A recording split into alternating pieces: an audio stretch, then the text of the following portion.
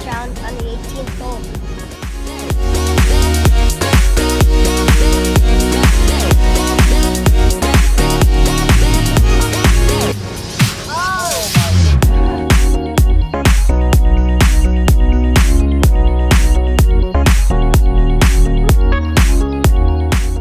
Well, first of all, Tommy's great. I mean, his dad said he hits balls all day, every day, and you can see it. I mean, from 55 yards in there. He knocked it one arm three feet. I mean, the guy's incredible, and I think uh, just watching Tommy, what he does, it really is an inspiration. Oh, terrific! I mean, he's obviously challenged in life, uh, not just uh, with obviously one arm, and to see him uh, the joy in, in, what he does, and, and uh, to be unburdened with you know a problem is only having one arm. Uh, it's great to see, refreshing to see.